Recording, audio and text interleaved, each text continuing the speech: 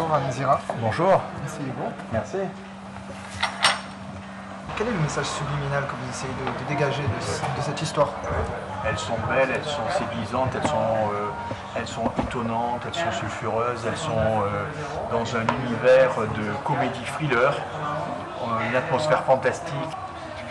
On ne se prend pas au sérieux, euh, mais on fait les choses sérieusement. On est à la croisée des chemins entre Tim Burton, David Lynch, avec euh, bien sûr des références euh, au, cinéma de Martin Scorsese et de Quentin Tarantino. Alors les personnages sont des femmes chats, Lady Cat bien sûr, Lucy Cat, Darky Cat, Snowcat. On a un personnage étrange qui s'appelle Tigrette.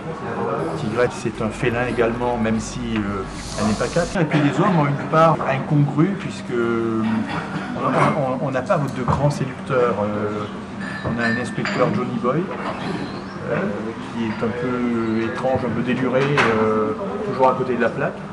On a un commissaire euh, Igor Leblanc, commissaire rock'n'roll, coiffeur bêta.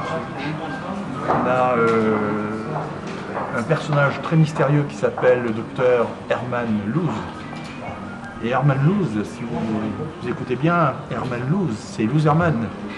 Et Loserman, c'est un indique, mais c'est également un, personnage sournois qui va euh, induire en permanence l'inspecteur Johnny Boy en erreur pour essayer de se venger. Euh, Johnny Boy l'a traité de Loserman et ça lui a pas plu. Professeur euh, Olaf Olga, qui est un, mystérieux explorateur, archéologue. Nous avons également euh, Jacques Picassé, artiste peintre.